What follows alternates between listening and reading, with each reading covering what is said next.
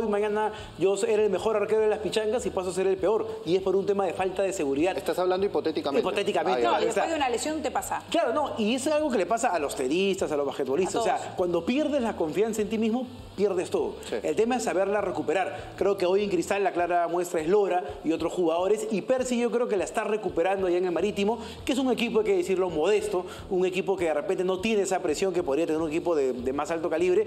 Pero a ver, Percy condiciones físicas tiene. En Cristal demostró que pese a lo grande que es, o sea, es un jugador que te sabe llevar el balón. Técnico. No es un 9 quieto, un 9 que va al cabezazo, no. Es un 9 técnico, un Ah, 9 que te sale del área, que te enfrenta en el uno contra uno y lo hace súper A bien. mí lo que me encantaba de él es que es de los pocos nueves que podía jugar y bien como extremo. Claro. No hay muchos Lo nueve. hacía con Riquelme. Claro, no hay muchos nueves que te puedan jugar como extremo y hacerlo bien.